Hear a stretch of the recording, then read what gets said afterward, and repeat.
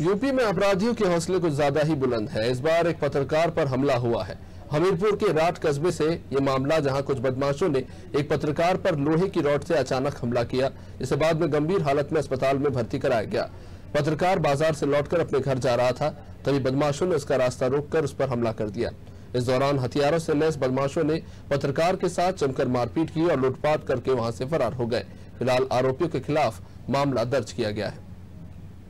बजरिया से सब्ज़ी बड़े पीसा के रास्ते अपने घर जा रहा था तो बड़े पीसा के पीस वाले रास्ते में इस्तार कलीला खरीद जुबेर और चुमटा।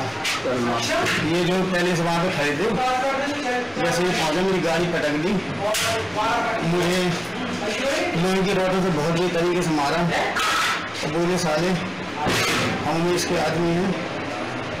तुमने इससे पंगा दिए तो जान से मार देंगे बहुत बुरी तरीके से मुझे मारा।